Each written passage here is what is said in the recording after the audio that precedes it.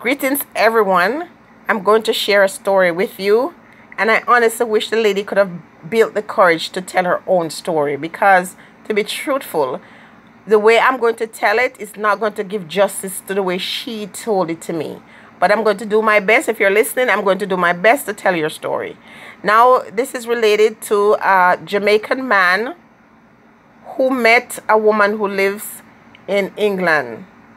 The lady met him on social media. He reached out to her and she just fell in love with his charm and his personality.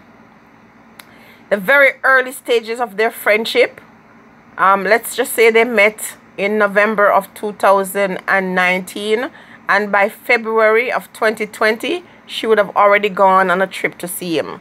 Now I'm using those dates as example. Just an example because um, I don't know when the lockdown happened, but this is before the lockdown. And so she met this man and he was so charming and she said he filled all those check marks, all the things that she was looking for in a partner. He just seemed to fill it so much. They just hit it off right away. Well, you know, as women, some of us, you know, we are nurturers. And so we often take that part of our character trait and we try to apply it to situations like men in our relationship. We immediately even before we get to know them we want to start taking care of them. So she said that you know he was meeting all her needs and she felt a great empathy for him because he you know nothing was happening for him. Not now gone as she said and so she said in the beginning, he told her that he was having some problems with his eyes and she sent him money to get his glasses. Then she found out that he was married to someone from the United States because he was living there before and they deported him to Jamaica. And so it, eh, she gave him money to take care of the divorce because now things are getting serious before between them and they're and they're planning to get married. And so she sent money after she sent the money later on he said that the money that she sent was not enough to get the divorce because um, he had to use a legal aid lawyer. So if he wants the divorce to be fast, he would have to pay another lawyer, which it costs over a hundred thousand. And she sent that. And um, you know, his car engine broke. And then he was also buying and selling. So she sent him barrels with things that he could sell and then he was having a problem some injury he had on his leg. One day he was just walking and out of the blues he just fell. Another day he got up he couldn't breathe and they had to call the ambulance and take him to the hospital. And the man had one story after the other and she just kept you know sending more money sending them more money. She just felt like this man was really a very unfortunate person with these unfortunate events occurring in his life she said when she went to Jamaica, you know, she take him out for dinner and they go for breakfast and he was not really interested in doing anything at home. And she says as far as the romance was concerned, she said she had a chance to see the the sugar cane and it was not measuring up to her expectation but but because his personality is so nice she said when the time came for them, you know, to walk in the Garden of Eden, the sugarcane stub was so short and it took him like hours to get it out, to roll it down. I don't know what kind of sugarcane thing this is, but that was her expression or explanation for how things went. So it took so many hours to get the stump working that she decided that it's best that they just continue walking to the Garden of Eden, just holding hands because there's more to life than, you know, releasing any type of physical activities within the garden. After all, it was forbidden in the Garden of Eden. So she accepted that's not supposed to happen and his character and his nature was so beautiful she was willing to ignore that for a moment and so she came back keep in mind she was quite disappointed that it had taken him so many hours to release the king you know on her trip to jamaica but she just said there's more to life than drinking sugarcane juice. And so she returned. When she came back, he told her that his grandmother died. And she sent money for that.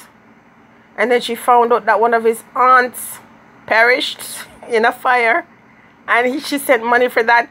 Now you're going to say to yourself, at what point would this lady, who is in by this time in her mid 50s, not realize that this young buck was really taking her to the cleaners? She just couldn't see past it, almost like she was mesmerized by this person. And I'm going to use this as a segue to say this is very common. So many women are having these experiences and you will say well i'm not feeling sorry for this person because what are you thinking what where is your state of mind that you would allow yourself to be exploited this way what is it because in her case she was not getting any coconut juice she was not getting no coconut milk she was not eating any sugar cane. She was just not having any of that. All she was having is the idea of what could possibly be down the road in terms of a permanent partnership with this one. These young bucks nowadays, they're fierce. And some of these men have zero conscience. Some of these men, and listen, I said some, some of these men are playing the fields. They got a lady in England, they got one in America, they got one in Canada, they have one wherever somebody is that is desperate enough to deal with their nonsense. Now, I know what it's like to be in a long distance relationship, and I'm going to tell you this right here, right now, that when I was in it and I was living a distance from my partner, I never sent money to him unless it was to do a business for me. Or if my child was spending time with her dad, I, as a mom, I got my part of the responsibility to make sure that she has food and what she needed for her survival. I was also not with someone who would ever call me and ask, but I am terrible when it comes to certain things. I'm also of the mindset that if you're in Jamaica or if you live in Africa and you're a man, I don't care who you are, it's your responsibility to take care of your woman and your children. It's not something where you should be giving me. We can work together as a team, but I don't play the game where some big, strong man is going to be using me or exploiting me. I'm not going to be giving anything to a man, and I'm not doing that for myself. And so you got women out here who, you know, are working so hard, doing some very difficult jobs. And when they get their paycheck, they're going out and they're buying these designer things for men. And they can't even afford to buy something simple and decent for themselves. When my partner was in Jamaica, I remember this lady came to me and told me that I should send Barrel home with designer stuff for my man. And I'm saying, why would I do that when I'm not buying designer stuff for myself or for my children? As much as I like nice things, I buy what I can afford. And there's no way I was going to go out there and buy designer labels for my partner to do what? To set up the idea with him that this foreign place that I live is a bed of rose and everything is easy. When my partner entered this space, he came here with realistic expectations of what foreign is. So if I was going home, I had a budget and I was not going past a hundred dollars when I was bringing something for my partner. And I'm going to say to a lot of these women who cry out that they're being abused or they got exploited that you played that hand. You allowed yourself to be used. So while she was telling me, to be honest with you, I couldn't help. I was cracking up. She's a comedian without even realizing. She was angry and she was very hurt. And I, I hear her. But women, you have to get sensible. Be smart. You're making these choices with your finances. You're doing these things with your money and then later on you feel so hurt so dejected. Listen it's not like the past where women were the ones who were just going out there and just conning men because women do that yes and they still do. But a lot of older men who choose to date these young girls they don't mind using their money to get these girls. So it's not exploitation as much as it used to be. But nowadays the young bucks i'm telling you they're acting sometimes like girls and they will lie and they will tell you some stories. I've seen, I've heard, I've witnessed this on the Jamaican soil with the men. A lot of men are different these days. They have the attitude of women. And again, not all Jamaican men. You have these hardworking, ambitious Jamaican men. When their women come to Jamaica, they sponsor that trip. They take care of her. We're not mixing these kind of men. We're talking about the men with the tight up pants. And you know when you look at the under you can't tell it different from that of a woman.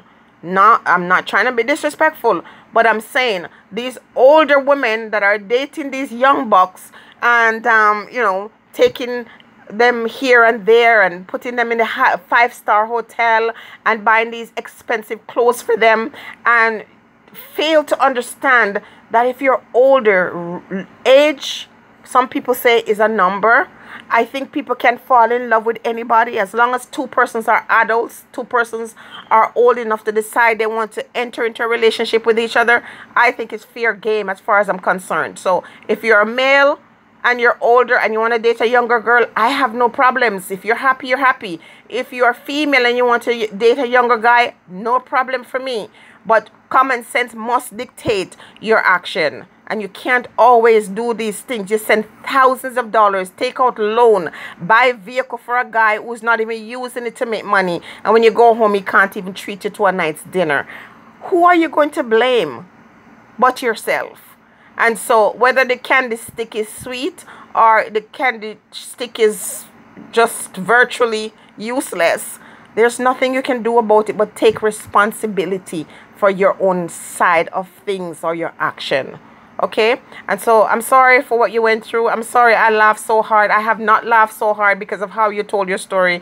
But i'm going to say listen learn from your mistakes. Move on. Stay blessed everybody